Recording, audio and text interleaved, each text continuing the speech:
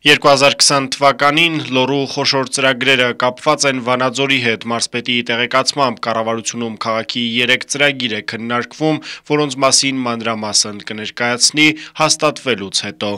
Գյումրու օրինակով մենք նախատեսում ենք Վանաձոր քաղաքին, այսպես ասենք, որոշակի շունչ տանք, ներարկում անենք եւ կոնկրետ ծրագիր այս պահին չկա, քննարկման փուլում է։ Հաջորդ քաղաքը, որտեղ այս տարի անելիքներ կան, Ալավերդին է, նորոգվելու են ներհամայնքային ճանապարհները, ավարտվելու է համայնքով անցնող միջպետական ճանապարհի նորոգումը։ Ավարտը նախատեսվում է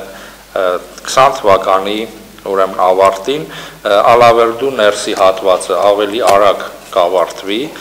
բայց տեղի ունեցել մի քանի նշեցի նախագծային փոփոխություններ, օրինակ Օձունի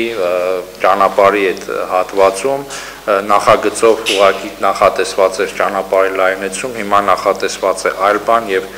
կլինի ճանապարհային հանգույց, որը կդարձնի անվտանգ, կլինի երկհարկանի, այսպես ասեմ, հանգույց։ Անդրեյ Ղուկասյանը հույս ունի, որ ամբողջությամբ կլուծվեն նաև անօթևանների բնակարանային խնդիրները։ Պլանավորվում է հատկացնել մարզին 1 միլիարդ 700 միլիոն դրամ եւս,